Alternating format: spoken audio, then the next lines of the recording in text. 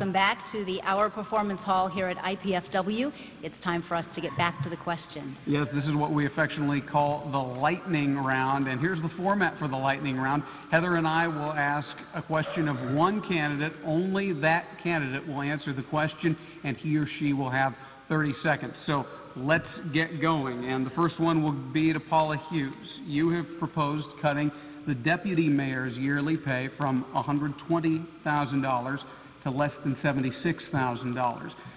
Wouldn't this make the job less attractive to qualified, talented applicants? Thank you. No, I don't think it would. Uh, in much the same way that I have objected to the fact that we have the highest paid mayor in the state of Indiana, I don't think we should have all highest paid officials in city government. You do public work because you want to serve the people of the community. That's why I'm running for mayor, not because I want a big paycheck. I can get myself back and forth to work, and I can do it for the same amount of pay that the mayors of Indianapolis and South Bend make. That's what's important. We've got to do sacrifice right at the top and make clear. We, I mean, we have the highest paid mayor in the state and on average the lowest paid police force. We cannot allow that to continue. All right, I'd like to direct this question to the mayor. In retrospect, was the Harrison Square project worth doing? Why or why not? The Harrison Square development was probably the finest development that the city has seen in decades. It has down, made downtown Fort Wayne a real point of destination for not only our own citizens, but for visitors as well. Over a million people a year visit downtown Fort Wayne. Parkview Field even my opponents have said Parkview Field is an unbelievable asset for downtown. The brand new Marriott Hotel, because of that, we're able to bring in bigger conventions.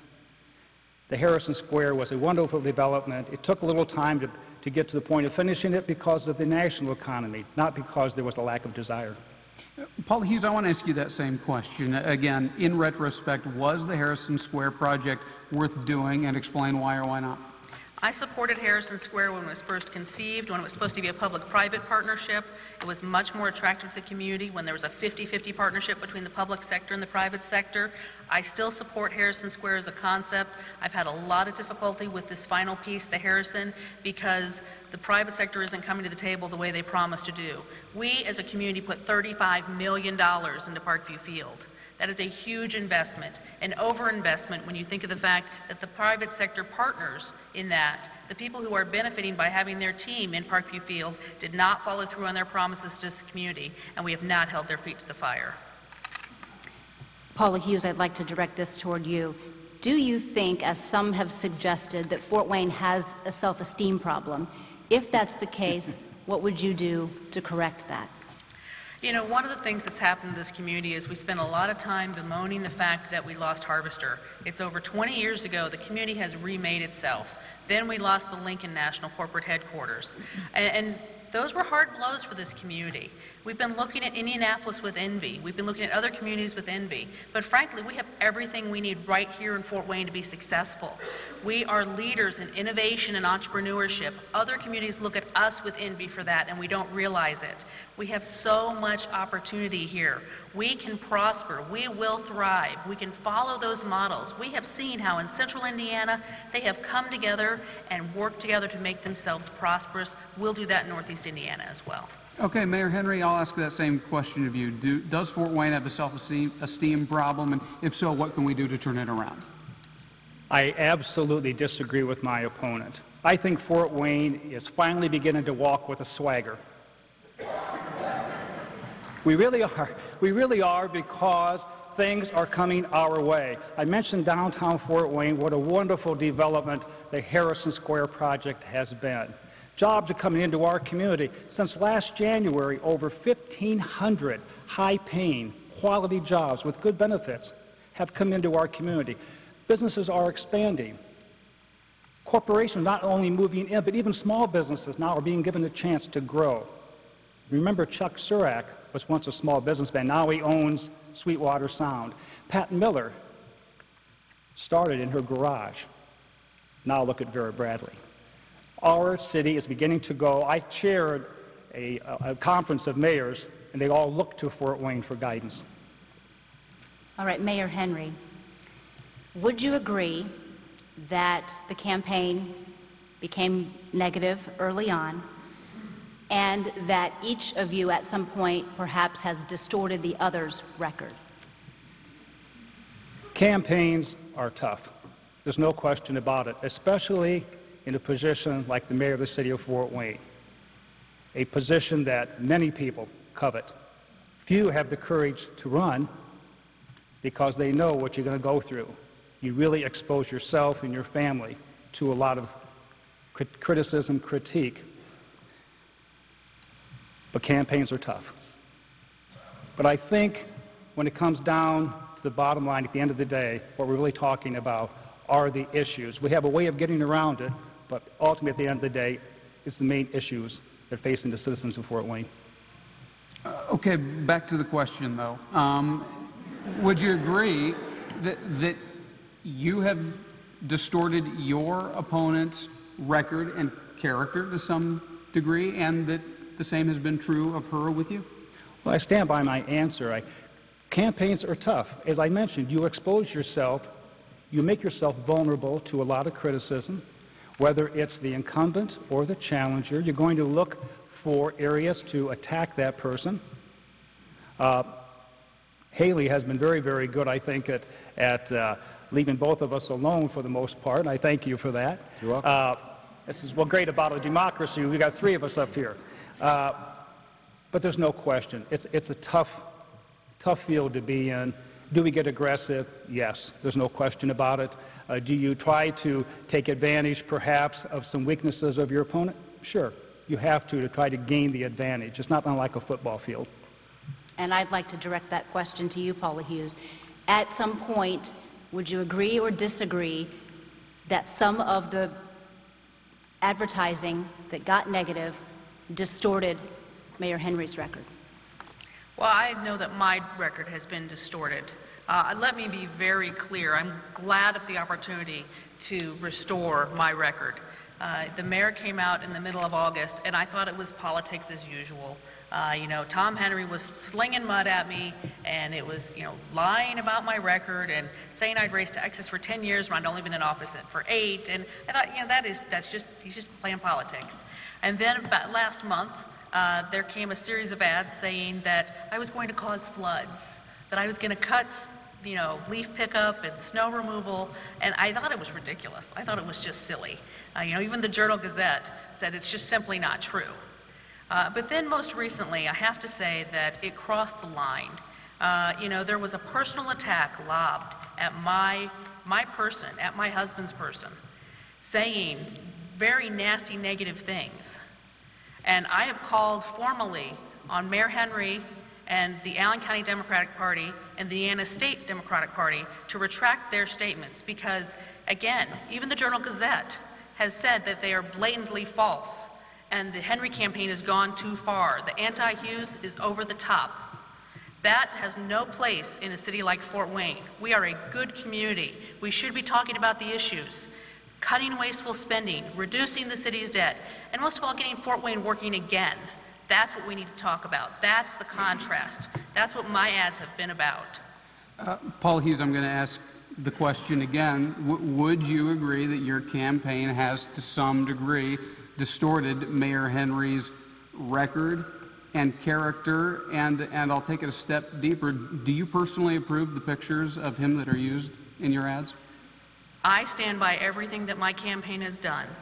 When you do something, you own it. You don't hide behind other people. And I have not distorted the mayor's record. The mayor was on city council for 20 years and raised taxes or fees every single year he was on that bench. Now, his four years as mayor, just six weeks ago, he asked for a tax increase, the largest allowed by Indiana state law. That's not a distortion, that's the facts. The pictures are pictures that were out there. We have not distorted any of the pictures. We do not Photoshop. We do not allow it. But you've approved them, every Yes. picture that's used, that's been used. Mayor Henry, you have been criticized in the past for using out-of-town, out-of-state mm-hmm. consultants mm-hmm. Uh-huh. on various projects. Uh-huh. How do you respond to that criticism? From time to time, experts are needed in specific areas. Sometimes my staff does not have a a level of expertise that we need. Or even if they do, we need an added level sometimes to get a particular engineering job done, to, to make sure it happens in the most expedient fashion possible. So we look around and we make sure that if there are people out there who have that added level of expertise, education, experience, do we bring them in to help out the existing staff so we can complete a project in a timely fashion? You bet. Mayor Henry, describe your personal involvement in the negotiations of the I&M light lease deal, including how many negotiating sessions you actually personally sat in on. Oh my gosh. the the uh, negotiations between Indiana Michigan Light uh, and the city of Fort Wayne, uh, they were very intensive, very numerous. Uh, I personally had a wonderful team working on it. Uh, not only a great legal team, but an operating team as well, City Utilities Division as well as others. I felt actually after a few meetings that I did not have, I did not have to get involved because, as I said a few minutes ago, they were getting to areas of, areas of expertise that were beyond what I knew. So I stood back and let my team take over. Uh, to be a little more specific, I had a number of hours in it, but the vast majority was done by my team. I actually would like to direct this question to each of you, but I would like to begin with Haley Arendt. What are your thoughts on the local members of the Occupy movement remaining in Headwaters Park indefinitely? Thanks, Heather. I, people are really aggravated, and, and I think that there was a clip on your broadcast, actually, of one of the demonstrators who I think said it best. Th- They're not, they're not sure who they're mad at, and I believe that they're mad at lobbyists and lawmakers, because you can never fault a person for how much money they make. But the problem is that in our national environment, we have uh, greed. And when you have that and they can fill the loophole, they end up taking the money. So when, when you have that kind of unethical behavior from the banks, then I think they ought to sit out in front of the banks. But I think that they ought to also go and look at the lobbyists and get involved. Go to city council meetings. Start educating yourself as far as how everything works in city government. Should they be allowed to continue to stay at Headwaters Park? Well, I know the park is closed, and I know that uh, Paula Hughes has already challenged the mayor to have them removed. Um, But if they're not there, they're going to be somewhere. So as long as they're, they're peaceful right now, um, I think we ought to go down and listen to what they have to say, and I plan on doing that Saturday. Paula Hughes. Well, I have said, I mean, the, the law is in place to maintain order in our society. I uh, certainly understand frustration. That's why I'm running for mayor, because I'm very frustrated with how our city government is run. And, and so I empathize with the frustration that the members of this movement must feel, but I don't think capitalism is the enemy. Our country was founded on capitalism. We were founded as a republic. We are supposed to work together, and being successful is not a bad thing. Uh, letting those members squat. I mean, they are occupying an area that they're not allowed to occupy. They're, they've gone beyond just occupying ideals. They're occupying land that is not theirs to occupy. They can peaceably gather, but they cannot break the law. And if we allow them to break the law, what's the next step? Who else are we going, going to allow to break the law? The law must be upheld. And Mayor Henry, your response. When, when do you stop freedom of speech? When do you stop freedom of assembly? We've looked at this issue very closely and decided that these individuals are peaceful, they're doing no harm, they're non confrontational, they're meeting our demands. I'm not so sure that Mother Nature herself might ultimately ask them to leave. But the bottom line is, as long as they're peaceful, they're law-abiding in the sense that whatever we ask them to do, they do. They have no water, they have no bathrooms currently, so they're trying to figure out a way out of that. But as long as they're behaving themselves, do I believe in the freedom of speech and freedom of assembly? You bet. And that's it for the lightning round. Now it's time for closing statements. Here, each candidate will get a minute and a half. And again, we drew randomly before the debate began, and we will begin closing arguments with Paula Hughes. Well, I want to thank everybody for joining us tonight, those of you in the audience and those of you that are watching at home. This campaign is supposed to be talking about what is going to take Fort Wayne to the next level. How are we going to thrive going into the future? How are we going to cut wasteful spending, get the basics right, cut the spending that's not necessary, like an overpaid mayor? How are we going to cut the city's debt? But those are the basics. When you get the basics in order, that's only because you want to get Fort Wayne working again. How are we going to create jobs for Fort Wayne? That's got to be our focus. Those are our priorities. Police, potholes, paychecks, prioritize spending, job creation. I will be a hands-on mayor, just the way I was a hands-on county council member. When Steel Dynamics wanted to build a plant somewhere in northern Indiana, and we heard about it, I put Keith Busse and Mark Millett in a truck, along with County Commissioner Nelson Peters, and we drove around with them in the truck in Allen County and convinced them of our passion for bringing their business to our community. Fort Wayne deserves that same level of dedication. We need a hands-on mayor. We don't need to hire consultants for everything. We have the expertise right here in Fort Wayne. I'm passionate about what we can accomplish. I'm passionate about Fort Wayne and Northeast Indiana. This is where I choose to make my home, and I know it's where you choose to make yours. Let's take Fort Wayne to the next level. Thank you. And Haley, your your closing statement, please. Thank you. Speaking of large contributions, I do believe I am the only one up here who cannot point fingers uh, for contributions. And I believe that the, the morality is down in the city because we have such a great divide between the two parties. They don't seem to work well together, and they hold up projects from one another and uh, so that they can take the credit for it. But I think our administration needs to be more conservative in its spending habits. And I think we don't listen to all walks of life people. Uh, we need to have some compromise, uh, but not compromise service and not compromise uh, people's welfare and stay ethical. Um, I have never gotten a job from my family's wealth or influence. I'm proud to say that I have always uh, got my employment and moved up because I was duly qualified. I will be an effective leader and I will bring the city back to the level and put it back on track.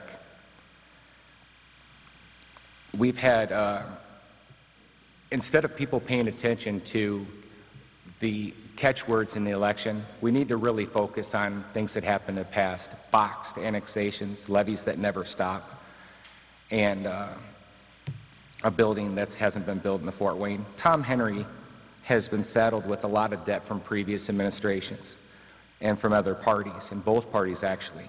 So if you're going to blame him for some debt, don't judge him on that. Judge him on just what he has done on his performance. I hope that you vote for me. Thank you. All right, and Mayor Henry, your closing statement. Thank you. Again, thank you both. Thank all of you for coming tonight. Four years ago, you, the citizens of Fort Wayne, trusted me with the reins of the mayor's office. You asked me to fulfill three primary responsibilities. First was to put together a financial foundation that supported our operations, at the same time maintain a positive cash reserve. I have done that. You asked me to work on an environment that would be attractive to employers, to bring new jobs into our community, to keep the jobs that are here, here, and to help those jobs grow. I'm doing just that. And you asked me to provide basic city services so you can have the quality of life that you become accustomed to. You asked me to plow snow when there was a blizzard. I think we've done that in record time. You've asked me to pick up your leaves. I've done that. You've asked me to pick up your trash. Yeah, I've done that. You've asked for a new recycling program. We've done that. You've asked me to provide a quality police department, second to none in the state, and a fire department just as good. I think we've gone over and above all of your expectations when it comes to public service. So the three things you entrusted me with, I think I have provided to you over the past four years. I want to continue that. I ask for your trust for another four years. Thank you. All right. That is all the time we have, so we would once again like to thank all three of you for participating in our debate tonight. We appreciate that. And we'd also like to thank our partner, the Mike Downs Center for Politics here at IPFW, along with IPFW and CATV for their help in tonight's debate. And we want to remind you, Election Day is just a week away. Make sure you get out and vote. And of course, then turn to WANE TV and WANE.com for election results and for complete analysis, too. For all of us here at WANE TV, thanks for joining us. Have a terrific night. Don't forget to vote a week from tonight. Good night.